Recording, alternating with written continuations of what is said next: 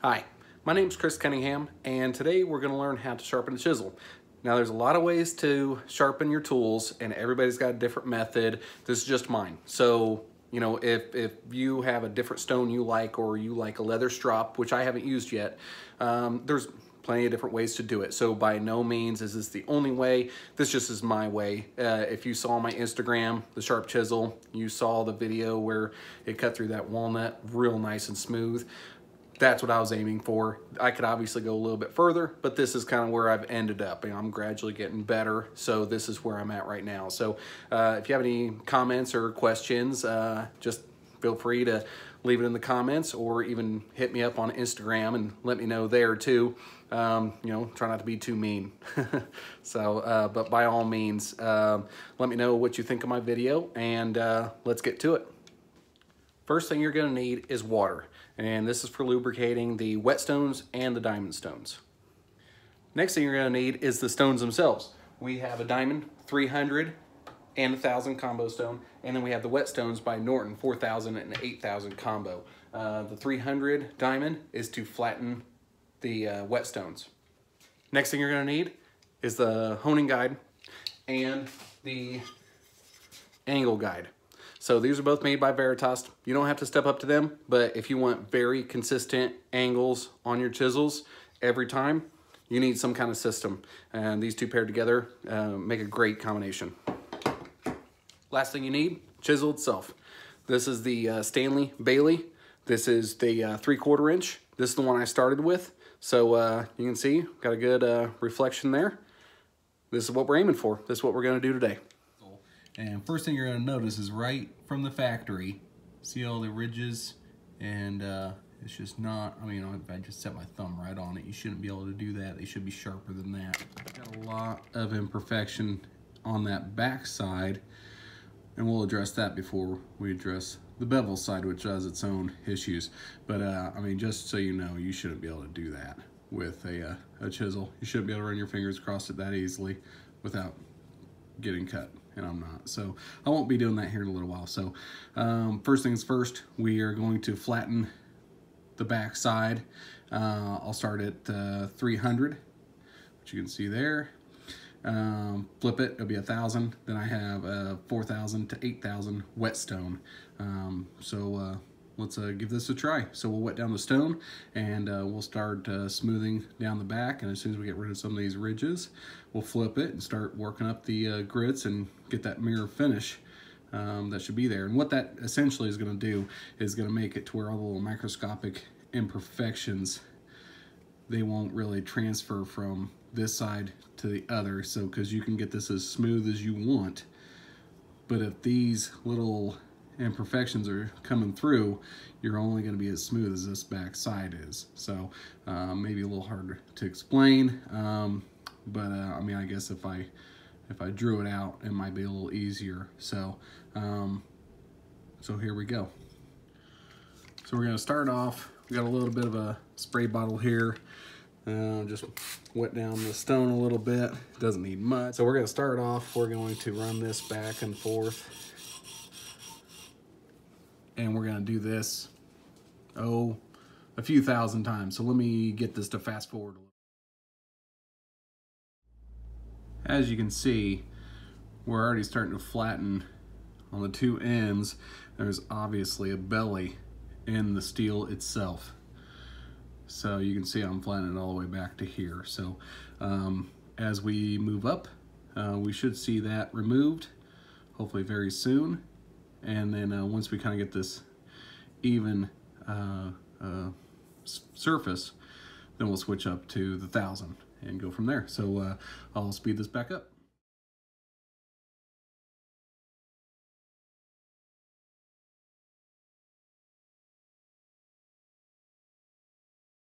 Now you can see it's, uh, you know, not smooth, um, but you can see where I started down here and it's nice and even.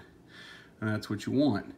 And so now it's time to step up and that's a simple, obviously be very careful with your uh, chisel, don't slam it down.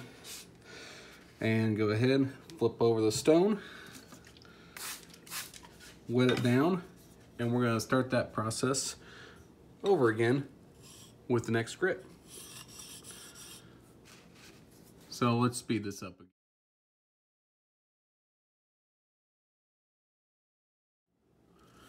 Now, as you can see, we're starting to get some of those marks out.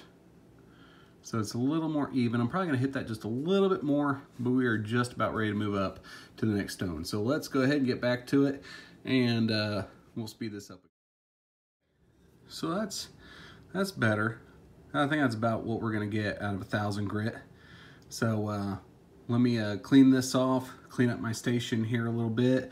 Uh, obviously it creates quite a mess. Um, that's why I put this extra board down. Of course, there's still a mess back in here from where I set my stones to the side. so you gotta be careful of that, but this will make a little bit of a mess. So I hope you don't love your nice clean bench. Um, that or do the smart thing and, you know, put down a piece of plywood or something else that protects your bench. Me, um, the more it's abused, the better it gets, I guess. So uh, it's a bench, it's a tool. It's supposed to get a little bit of abuse. So, and I can just sand it down later if I uh, if I really hate it. So uh, let me get my mess cleaned up and I'll switch to the uh, next set of stones. Then we're ready with the next stone. Um, couple things though, before we get started on this next stone. That 300 grit diamond stone, running your finger across it with calluses, you may not feel it, but it actually wore a hole in my finger. And uh, I checked it a couple times on the video. You may not be able to see that because I did it pretty quickly, um, but I did see little drops of uh, blood on there, which is not good. So antibacterial and uh, some unicorn band-aids that I stole from my kid and we're good to go. So let's get back to it. So first thing you want to do, uh, you want to wet off, uh, wet down your stone here, and we're going to start with the 4,000 and flip to the 8. So the 4,000 is the white. But before you get started, you need to take that same brutal 300 um, and you want to take it across the top of this.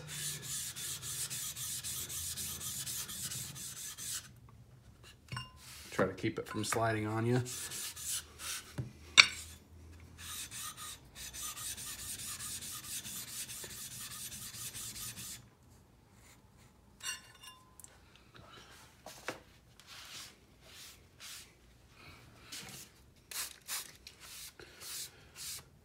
So this just gets it really good and flat, um, good reference surface. So uh, let's go through, re-wet it down, and uh, kind of index with my finger where I've uh, stopped and started. That way I'm not wasting a bunch. And, you know, I, I am overdoing this. You don't have to go, you know, two inches in um, but I'm going to just so I get, you know, a lot more finish. Good for the video.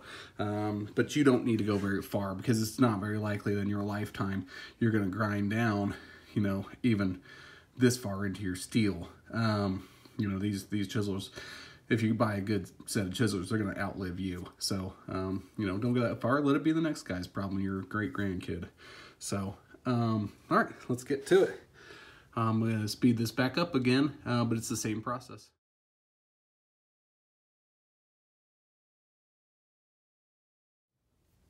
So as you can see, we're already starting to get a little shinier. So you can see my lights above. Um, you know, if I aim to right, you probably see my phone that this is, that's taking the video. So, but that's not a mirror. Uh, that's not, not good enough yet. So let's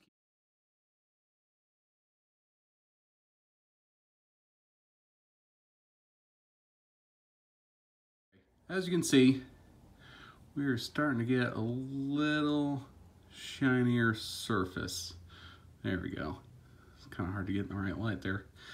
Uh, you know, it's a little uneven, so it might actually be where my fingers are setting. Um, so I'm gonna go ahead and keep going with this for just a little bit longer, uh, and then we'll be ready to switch up to 8,000.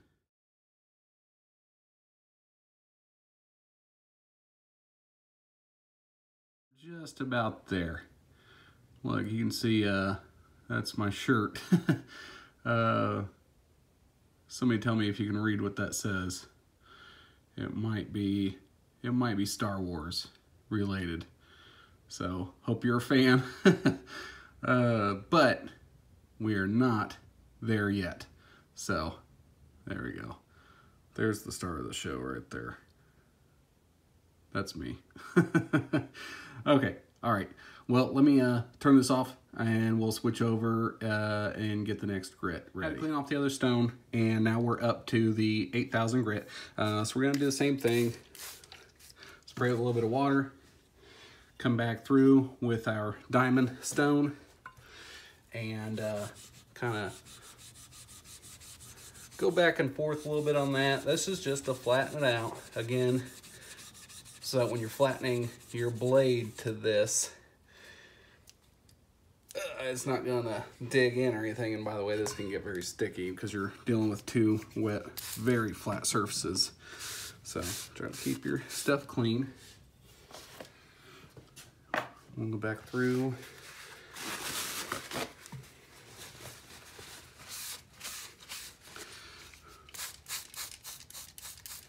Went down the stone real good. And uh, this will be, again, same process. We're gonna go back and forth quite a few times. So I'm gonna go ahead and speed this up.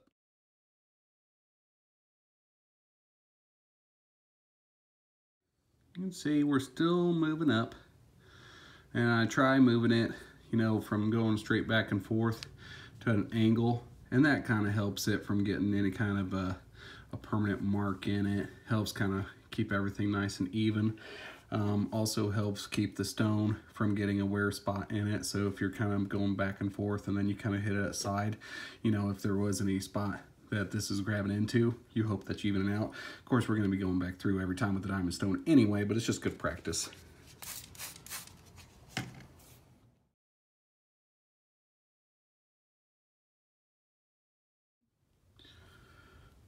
All right, we're starting to get somewhere now. So again, you can see, uh, here we go. Here's a good indicator.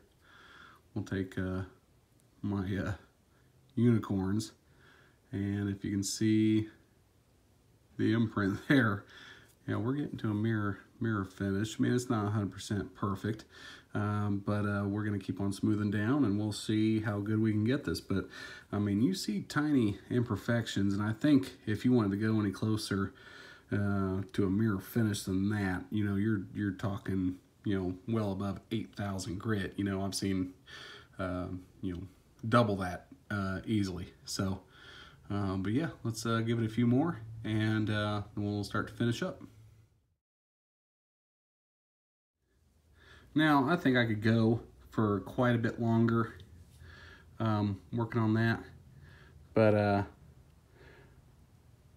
you know, I don't think I'm going to get glass smooth out of an 8,000 grit. I could probably get pretty close. So I could go a little bit further. Um, but let me, uh, let me grab one of the other chisels here that I have not touched. Um, let's see got some that I've hit a little bit, um, but you can see, you know, this was done with a lot lesser stone. It was just to get that edge, and this is before I bought my new stones. And then there's the new. So you have the fairly even, and then the uh, not even at all.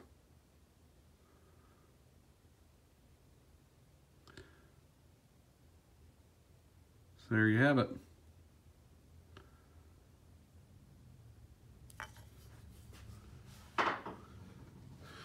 So now from here, clean up, start over, and we'll get my honing guide set up for this end here. Um, and uh, we'll start sharpening that side. But honestly, as it sits, I could put a micro bevel on this and I would be good to go. I would not need to address this entire bevel. In fact, there are some guys that don't. They just hit the secondary and tertiary, tertiary bevel and they don't touch it again. Um, you know, I think uh, just for longevity and saving myself some trouble down the road, um, I'll go ahead and hit the whole thing, get it all the way across, and then hit my secondary, tertiary bevel, and uh, then this thing, this will be, uh, this will be ready to roll. So there again, there's your, uh, there's a reflection.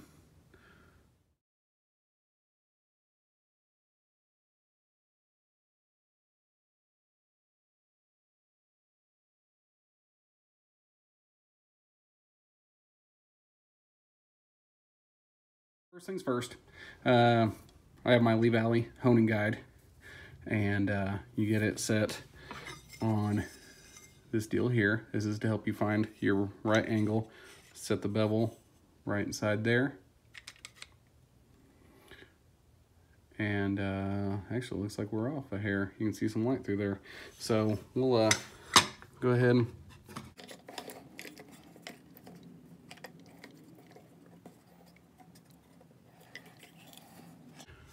Okay. Mm.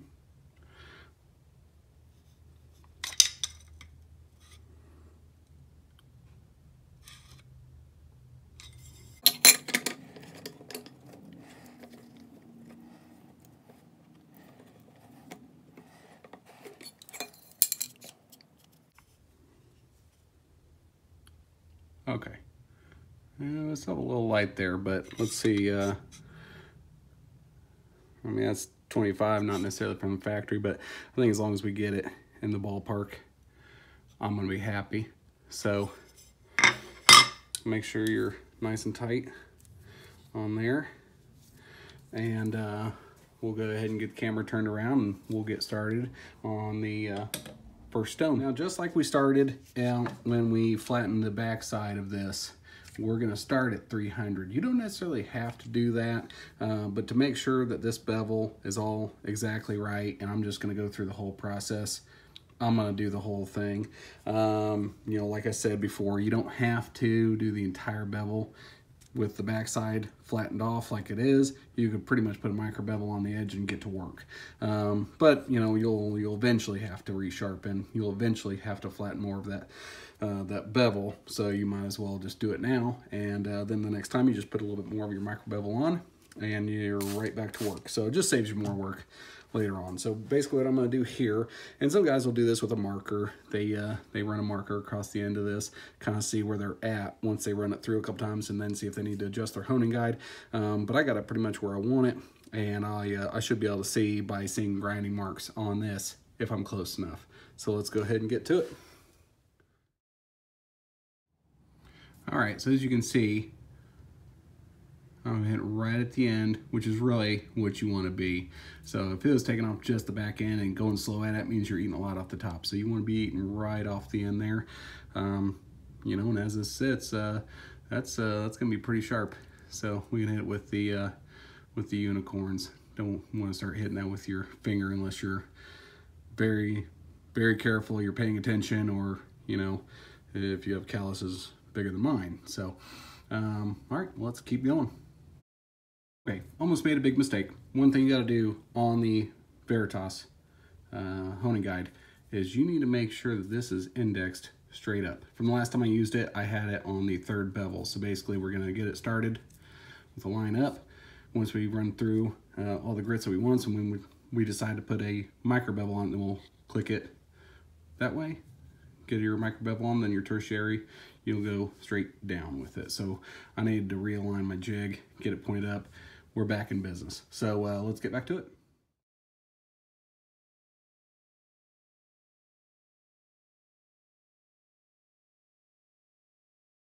So what I'm doing right now is when I changed the uh, gauge, it was not exactly perfect.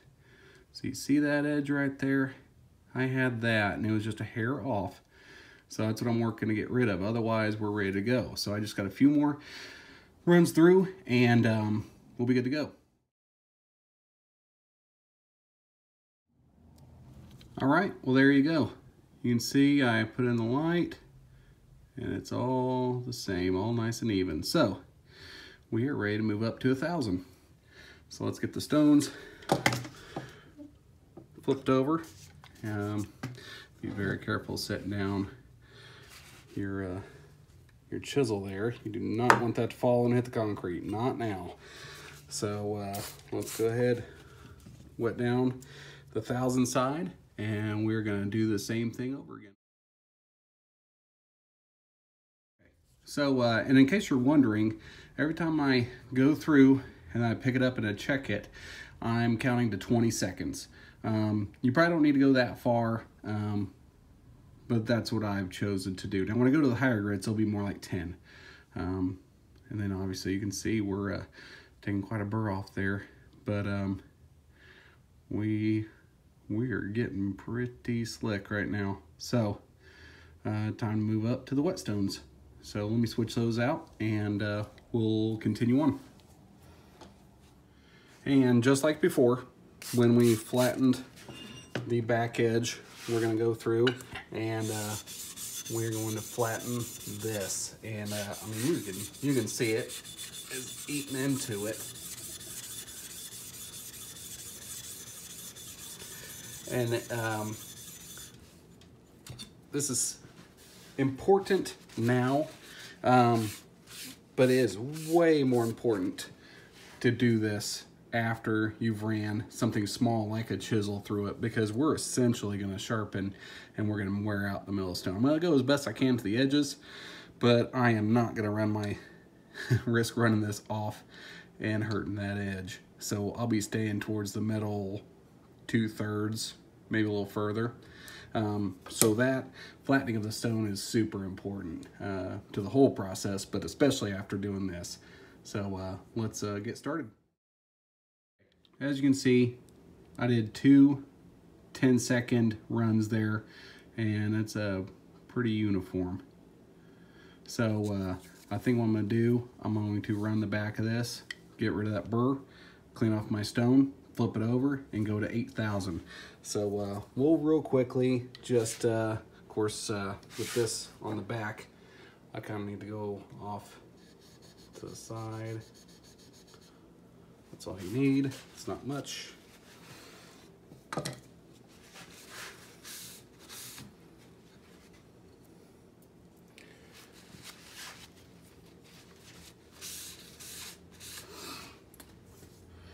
All right. Wet it down.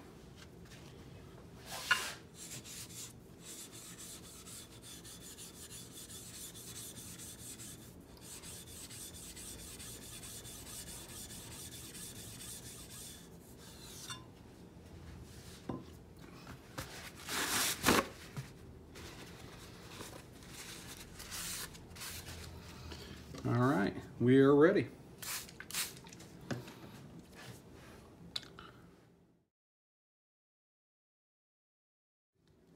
Just a few rounds of that and uh, I mean you can see we're even shinier than we were with the back edge. I mean look at that. I am very proud that I'm wearing a Star Wars shirt today because I'm I'm advertising for them. Pretty amazing. And we're not even to the sharpest spot right now. You could take this and you could do just fine um, but we're gonna go a step further and we're gonna put on a secondary and um, I'll see what I feel like. I might put on the tertiary, the third bevel, um, but you do just like that. And uh, you'll see as soon as I put it to the stone, it, uh, it will grab into it and you will feel that it's a completely new bevel. Uh, but you're going to want to be very careful with this. Go nice and light, and we're going to do probably a five second count and uh, see where we're at. You do not want to have like a big, you know, huge edge on that. It's a micro bevel. So, um, you know, I'll go and leave this uh, full time. You want to keep uh, good pressure, both fingers. One, two, three, four, five, five and a half. So you can see,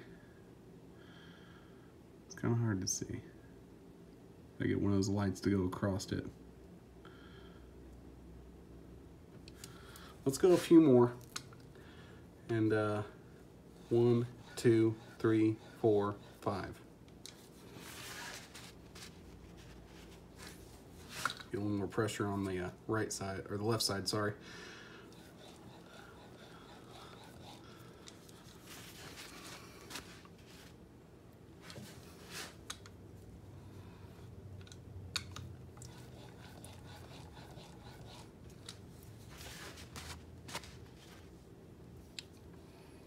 Okay, now there we go. That's a cool looking shot right there. So there is your secondary bevel. So on top of having a near mirror finish, looks like it's on fire. Yeah, that's a beautiful thing. So from here, I'm gonna even out that bevel just a little bit because it's a little heavier on one side than the other.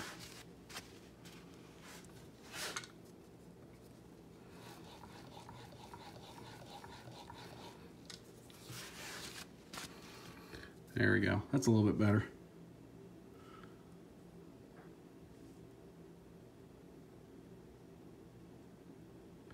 There you go. And, um, you know, I think I'm going to stop right there. I don't think I'm going to put the uh, third bevel on it. I think that's going to be plenty sharp enough. So I think we need to uh, put this to a test. So uh, let me put everything away, clean it up, reposition the camera, and uh, we'll, uh, we'll see how this does. So, uh, oh, before I stop though, I am going to uh, take this to the 8000 on the back side, and we are going to knock that burr off very carefully. Take it out of your honing jig. And you want to take this, set it down on the, the, the back here, and then you want to lower it into it. So just uh, lean it back off.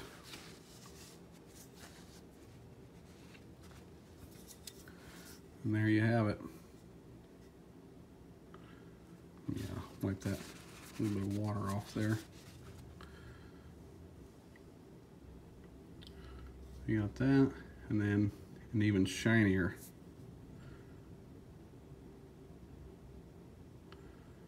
There we go.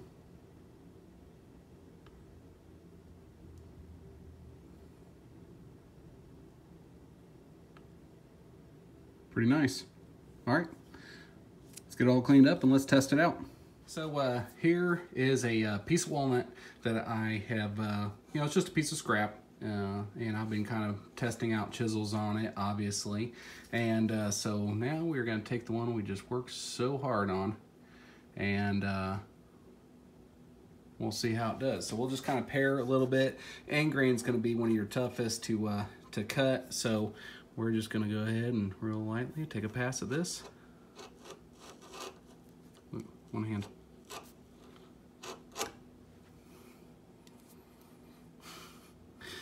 Uh, that's uh, comically sharp. So let's go and stop there. And let's see if we can't get a little bit closer shot of what I've done. So.